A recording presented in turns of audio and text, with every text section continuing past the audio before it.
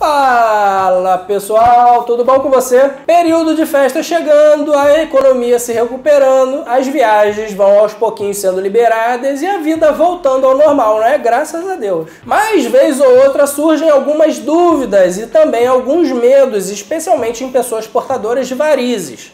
Histórias que a gente ouve sobre viagens de avião que podem causar problemas em pessoas com problemas na circulação. Então, nesse vídeo, a gente vai conversar que problemas são esses e o que você pode fazer para minimizar os seus riscos. Vamos lá?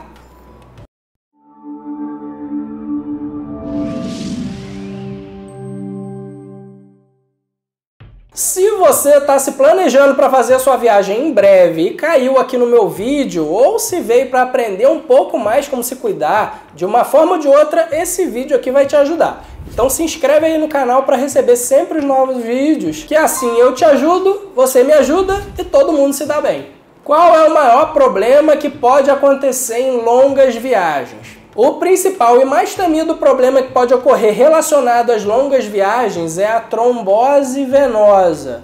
A trombose ela acontece quando algo foge do controle e ocorre a coagulação do sangue no interior das veias, o que só devia acontecer quando houvesse uma lesão do vaso. Quando isso acontece, se forma um coágulo ou um trombo que interrompe a circulação como se fosse uma rolha. Assim a gente tem as tromboses venosas. Eu não vou ser muito repetitivo, eu já fiz um vídeo super completo com todos os tipos de trombose, vou deixar ele aqui para você conferir depois. Por que existe esse risco de trombose? Lá nesse videozinho eu explico todos os motivos que podem levar uma pessoa a ter trombose. Um desses motivos é o que a gente chama de estase sanguínea, que pode ser traduzido como fluxo sanguíneo lentificado. Nesse caso, o fluxo sanguíneo das veias ele fica mais lento, o que faz com que os componentes do sangue responsáveis pela circulação se juntem com mais facilidade e formem um coágulo. Isso só deveria acontecer caso houvesse uma lesão no vaso para interromper um sangramento. Algumas situações podem fazer o fluxo do sangue ficar mais lento que o normal. Isso acontece, por exemplo, em pacientes acamados, em pós-operatório ou com dificuldades de locomoção e em longas viagens, que pode ser de avião ou qualquer outro meio de transporte. Por que raios acontece trombose em viagens de avião e outras longas viagens? Vamos entender o papel dos músculos na circulação. Os músculos e as veias eles estão em íntima relação. Às vezes elas passam entre os músculos e em volta deles. Isso acontece em todo o corpo. Quando a gente se movimenta, por menos que seja, a contração dos músculos ela vai ajudar a impulsionar o sangue pelas veias, assim facilitando o trabalho delas de carregar o fluxo sanguíneo. Em longas viagens, um grande erro é a gente ficar parado na mesma posição por horas. Assim, a gente praticamente anula o papel dos músculos na circulação do sangue. Além disso, muitas vezes a gente viaja em condições não muito agradáveis com pouco espaço para nos mexer e esticar as pernas. Assim, a gente comprime as veias na região das articulações por muito tempo, como joelhos e virilhas, prejudicando ainda mais a circulação. Por esse motivo, a trombose relacionada às viagens de avião, elas são também conhecidas como síndrome da classe econômica. Uma baita sacanagem, né? Calma que nem todo mundo tem risco de trombose. Existem sim casos que a gente investiga e não consegue identificar a causa de uma trombose. Ela pode acontecer porque sim, mas isso é mais raro. Existem fatores de risco, além da estase sanguínea, que aumentam o número de componentes da, da coagulação ou a sua capacidade de se aderir e formar coágulos. Geralmente é preciso uma junção de fatores causadores para levar a uma trombose, ou pelo menos aumentam os riscos quando esses estão presentes. São alguns exemplos. Pessoas com alterações genéticas, chamadas trombofilias, que são condições genéticas que aumentam a adesão ou a quantidade dos componentes da coagulação. Além disso, determinados tumores, tabagistas, obesos, uso de anticoncepcionais, gravidez, varizes e etc.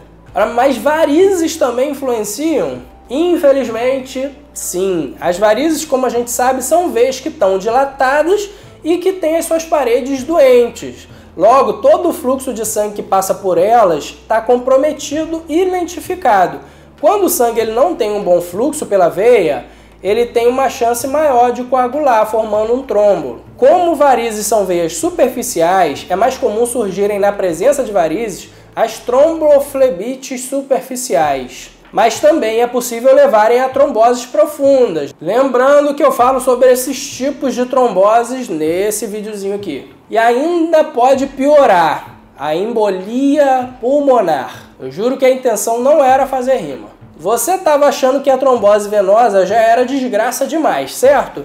Pois ela própria tem as suas complicações. A embolia pulmonar é uma das principais e mais temidas complicações da trombose. É um problema grave que pode levar à morte ou deixar sequelas. Ela ocorre quando um pedaço do coágulo que se formou nas veias profundas se solta, passeia pela circulação e vai naturalmente, pela própria anatomia, atingir os vasos sanguíneos dos pulmões. Dependendo do tamanho desse coágulo e da área atingida, a pessoa ela pode inclusive não sobreviver. Dicas para evitar problemas na sua viagem. Então quer dizer que quem tem varizes ou outro fator de risco está proibido de viajar de avião ou outro tipo de viagem mais longa?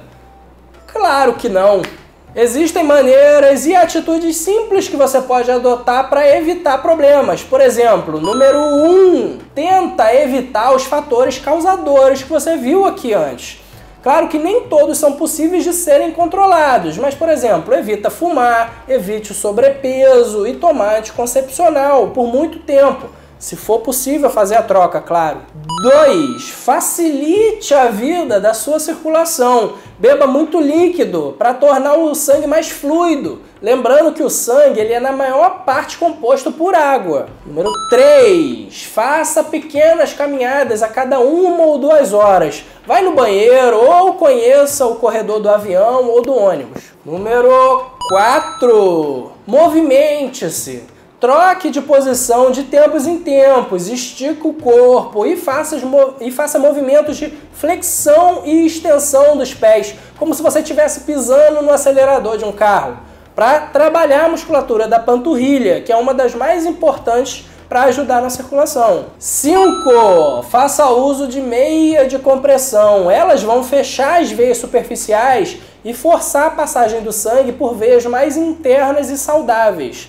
Essa dica é especialmente válida para gestante e pessoas com varizes, mas vale para todo mundo também. Se você tiver, se você tiver em dúvida, se você tiver em dúvida sobre os fatores de risco ou a sua segurança, Procura ajuda de um médico vascular para orientar o melhor meio de compressão para o seu caso. Em alguns raros casos, pode ser indicado até mesmo medicação preventiva antes da viagem. E claro, se você ainda está se planejando e quer evitar qualquer contratempo no seu passeio, conta com um médico vascular para o tratamento das suas varizes. Você vai estar tá se prevenindo, prevenindo esse e outros tipos de complicações. E ao melhorar os sintomas das pernas e deixar de se preocupar com os vasinhos aparecendo, com certeza a sua viagem vai ser muito mais agradável. Se eu conseguir te ajudar, não esquece de se inscrever aí no canal para a gente levar a palavra contra as varizes por todo esse Brasilzão. E não esquece, essa vida sem varizes existe. Pega esse videozinho aqui e encaminha para aquela pessoa que você conhece que está planejando a viagem e que precisa estar tá sabendo disso. Não esquece de me seguir também lá no Instagram. Todo dia eu tô tirando dúvida de um monte de gente por lá e conteúdo muito legal diariamente lá também. Eu acho que é só isso, minha garganta já tá até falhando. Obrigado por você ficar comigo até aqui. Até os próximos vídeos.